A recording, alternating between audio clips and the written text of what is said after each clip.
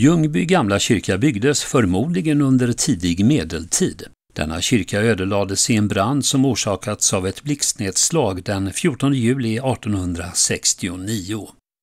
Den nuvarande kyrkan byggdes i nyklassicistisk stil på samma plats som den gamla och invigdes den 12 september 1875 av biskop Gustav Daniel Björk. Först nästan tio år senare målades kyrkan invändigt och 1887 rappades kyrkan utvändigt och målades med vit kalkfärg.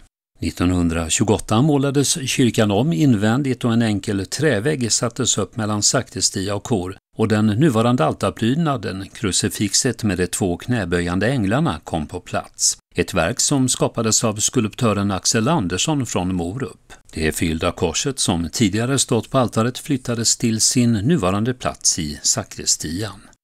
Interiören förändrades under en omfattande renovering 1953. Bland annat sattes valvet mellan långhuset och sakristian bakom altaret igen med en vägg, varvid sakristian blev ett slutet rum. Teaterdekoratören och konstnären Yngve Lundström utförde dekorationsmålningar i tak och marmorering av bänkgavlar. Predikstolen byggdes i samband med kyrkan, förmodligen av kyrkans byggmästare L.H. Arvidsson. Predikstolens fem speglar fick på 1950-talet målningar skapade av konstnären Gösta Frisk. På den mellersta spegeln återges Kristus i majestät med spira och riksäpple.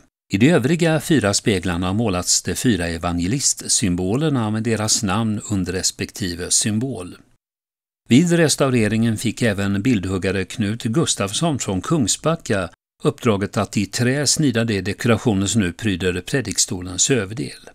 Även duvan som hänger under ljudtaket är ett verk av Knut Gustafsson. Foten på kyrkans doppunt i gotländsk kalksten från 1200-talet skadades vid branden på 1800-talet och är därför omgjord. Dopfatet är från 1600-talet. Efter branden i den gamla kyrkan tillvaratog man delar som tillhört altarprydnad, predikstol och epitafier.